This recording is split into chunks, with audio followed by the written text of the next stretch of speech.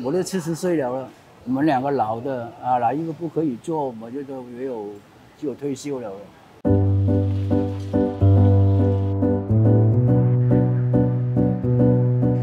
我的名字冯树生，我的档口是在二三大 village 零幺七七，名字香江所有说七根，我是卖云吞面。水饺面、油烧、油酱油鸡、小鸡，呃，我大概一天呢卖百多盘这样咯。因为从小啊，我们做这这一行哦，我在 restaurant 也是好，说酒店做好，做小贩好，人人都叫我一个名字，有鸡佬。通常很多人都不不知道我的名字，叫我有鸡佬，有鸡佬，因为卖油鸡嘛。我跟两个老婆两个人在做做那个档口啊。我们是分开两个工作，我是在做里面的东西，有关里面的东西我全部我做，就包括做我的呃有该云吞水饺的料啦、煮汤啦、煮面啦。我老婆是负责收钱啦、订货的啦、接客人啦、包云吞啦，都是她负责做的。我们两个人谁生病都不可以做，谁哪一个生病都不可以的，一个人做不来的。我没有他，他也不可以；他没有我，也是不可以。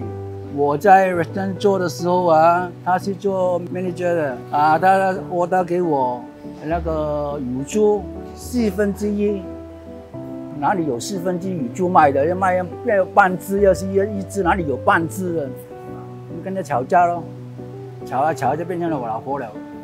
零三年的时候啊，因为是杀死来了了，而那个住房率不够。那个中餐也是生意不够，所以酒店就改找，要我去做西餐，因为我是做 barbecue chef 中餐的嘛，哪里可以做西餐的？就这样，英文也不会啊，所以我自己出来做过做小贩咯。哪怕出来做时候，我就有有卖烧鸭、烧乳猪啊、烧肉啊、叉烧的东西，我有有卖过。啊，来了这边我就选，因为我两公婆做，所以我就选三样东西就好了。卖酱油鸡啊、云吞啊、水饺啊、卖面就好了。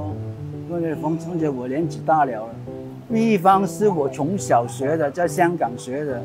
我十二岁十二岁的时候在香港学的。香港呢比较吃的淡一点，新加坡呢比较浓味一点啊。因为新加坡最喜欢的，他们吃的面啊是什么都。第一样事情，辣椒酱都就不不下去了了。香港人没有这个习惯的。做酒店是做，分别是动劳多，认为我有做手很多。做小贩只有两公婆做，就奴隶多。我在酒店啊，根本上我都差不多可以说不用做，我就看他在教他们每样每样怎么怎么做，看他做种好不好啊？啊，今晚的风声怎么安排啊？啊，现在在这边呢是亲力亲为啊。马来西亚人来来没有鸡来，我休息了一个半月，没有鸡，因为冰冻鸡我不喜欢用，因为冰冻鸡啊那个味道不好。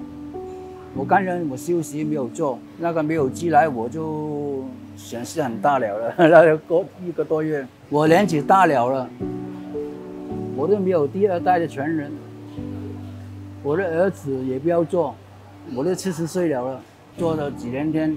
我们两个老的啊，哪一个不可以做？我觉得没有就退休了。传给别人很难讲的，因为我我我教你没有用的。我教你呀，最重要教了你，我要看你要几年是可以放在手给你。那么我做的东西，你要一定要一定要不可以变，又不可以改。做我们这行是有一路一年一年的慢慢慢慢的经验。比如说我儿子做，我都要。一年一年教，起码都要四五年才可以。我有两个炉，一个炉是煮面的，一个炉是煮汤的。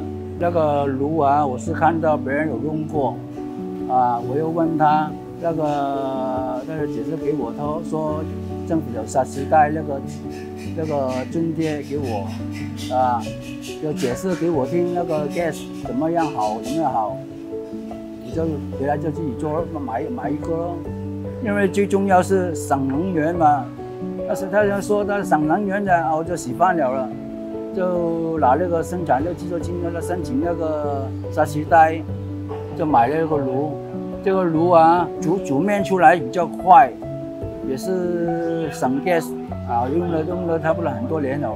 前呢，我做用那个炉啊，分别分别是，比如说我以前我煮十呃五盘面需要多少时间，现在我坏了大概是三分之一的时间变成坏了了。以前用 gas 啊，又又一下子 gas 来了的火大，煮的汤了煮的不好了。这个机器啊变成要要做的快，那 gas 大嘛，火力集中嘛，变成我快了很多。我老婆就不会骂我这样多咯。快点，快点，还没好，快点，少了，少很多了了，骂少一点呢。那省下来的时间啊，比如说我那个面啊，可以打松它了，那时间我要不要多了一点时间哦？以前我做两包面，我就要要要半个小时，现在我可以多了半个小时，我就早一点收工哦。多多了那个小贩做做机呢，他们就可以买多一点。工具回来啊，你可以提升他们的生意啊，工作水准啊，可以多多一点呢。就是我这个合格啊，有好几档用用那个小贩制作金的津贴，就有好几档了了，不用说我一档。新加坡这个小贩文化啊，是从他们很久很久以前已经传下来的了。啊，爷爷带爸爸来吃。爸爸带小呃儿子，儿子带孙子，一直代代传下来，都是在和歌里面吃饭吃东西，比较方便很多，因为结婚一种文化了啊，好像你香港也是一样嘛，香港最中意人茶啊，新加坡的文化是去喝歌，新加坡小贩啊，老实讲啊，希望年轻一代啊，他们接受做小贩这个东西了。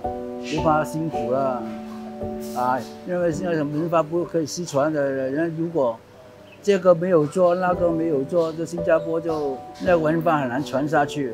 不一定做什么什么都好的，你们就，比如说你们自己要学学到有个什么好的东西啊，呃，有点创新的功夫出来啊，也是可以做小贩。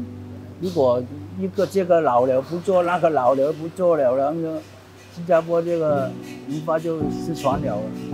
如果要做一个小贩，你最重要一样东西就是喝苦耐劳，不怕辛苦，啊，希望有新一代啊，他们还接手了。